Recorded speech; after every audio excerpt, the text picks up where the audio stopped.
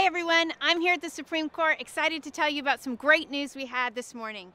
We won the 303 creative case on behalf of Lorie Smith. With God's help, this is our 15th victory at the United States Supreme Court, and it stands for a very important principle that we've been working on for well over 10 years, and that is that no one should be forced to express a message or create art that violates their core convictions. Free speech is for everyone, regardless of what side of the issue you're on, and it allows us to pursue truth, to debate that truth, and to live consistent with our core convictions. We're so thankful to Lorie for her courageous stand, and we're hopeful and expect that this victory will help millions of Americans across the United States and even around the world. Thank you for standing with us. Thank you for your partnership, for your prayers.